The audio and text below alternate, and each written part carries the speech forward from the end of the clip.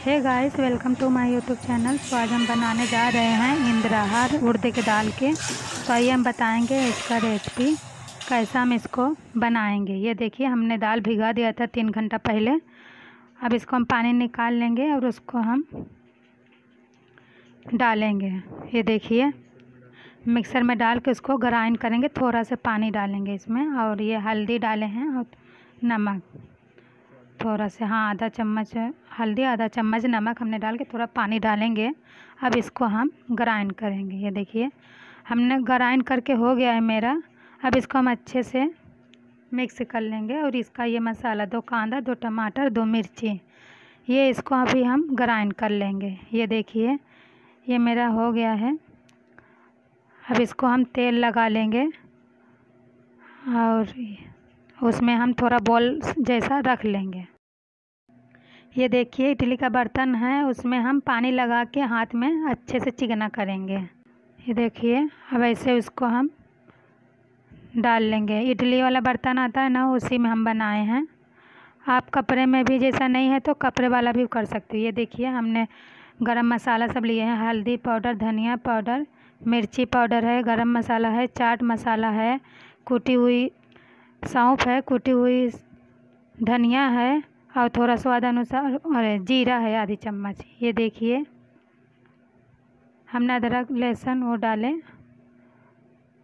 और ये मसा, हम थोड़ा लौंग, इलायची, दालचीनी थोड़ा डाल के पहले वो कर लेंगे, फिर उसके बाद कांदा डाले हैं।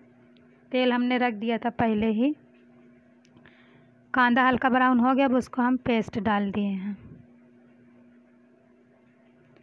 ये देखिए, थोड़ा चला के फिर हम ये गरम मसाला और इसमें काश्मीरी मिर्ची है आधी चम्मच और एक चम्मच लाल मिर्ची है।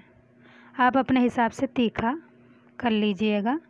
ये देखिए, हमने अच्छे से इसको मिक्स कर लिया है। चला के अब इसको थोड़ा पाँच मिनट के लिए ढक देंगे। ये देखिए, मेरा ये भी रेडी हो गया है। दस मिनट हमने रखे थे गैस पे। अब इसको हम ऐसे सारे निकाल लेंगे। बनाना बहुत ही ईजी है। आप एक बार ज़रूर, जैसा दिख रहा है ना, कितना अच्छा। आप एक बार ज़रूर ट्राई कीजिएगा। खाने में भी बहुत स्वादिष्ट आता है। ये देखिए, मसाला मेरा होने आया। अब इसको हम चला लेंगे, देखिए।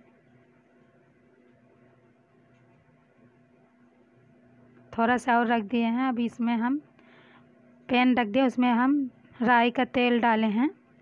राई के तेल से बहुत अच्छा टेस्ट रहता है। आपके पास नहीं है तो कोई भी ऑयल चलेगा। ये देखिए, हमने सब इसको हमें थोड़ा फ्राई करना है। थोड़ा से नहीं डीप फ्राई ये देखिए, एक साइड हो गया है, दूसरे साइड हम रख दिए हैं। लो फ्लेम पे हम इसको रखे थे फास्ट पे नहीं ज़्यादा। जब तक चैनल को सब्सक्राइब कीजिएगा वीडियो को लाइक कीजिएगा, लोगों के साथ शेयर कीजिएगा। ये देखिए, मसाला मेरा होके रेडी हो गया है। हो गया है। अब इसको हम थोड़ा से ढकेंगे। थोड़ा और अच्छे से हो, जितना अच्छा मसाला हो जाता है, उतना अच्छा टेस्ट आता है। अब इसको हम ऐसा थोड़ा निकाल लेंगे। निकाल के उसको हम बारीक काटेंगे। ये देखिए, थोड़ा। अब इसको हम अच्छे से हम चला के मिक्स कर लेंगे, मसाले को लगा लेंगे अच्छे से। ये देखिए। पानी हमें बिल्कुल नहीं डालना है, ये मेरा हो गया है। अब इसको हम कोतमीर डाल के अच्छे